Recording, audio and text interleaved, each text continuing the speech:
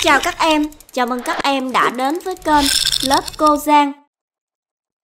Video hôm nay cô sẽ hướng dẫn cho các em luyện viết chữ E. Đây là chữ E viết hoa. Các em hãy đọc theo câu nào.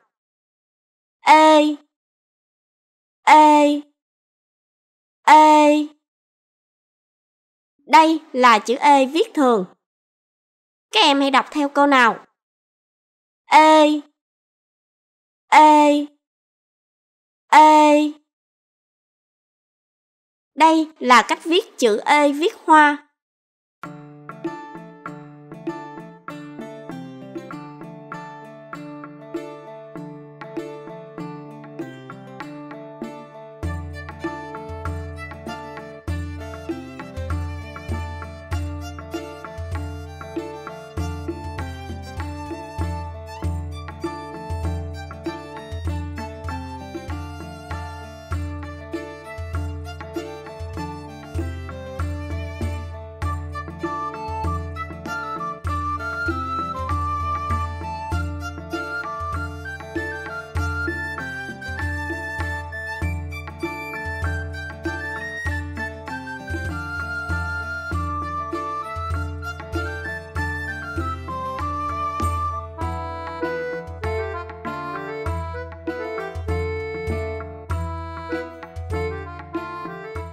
Đây là cách viết chữ E viết thường.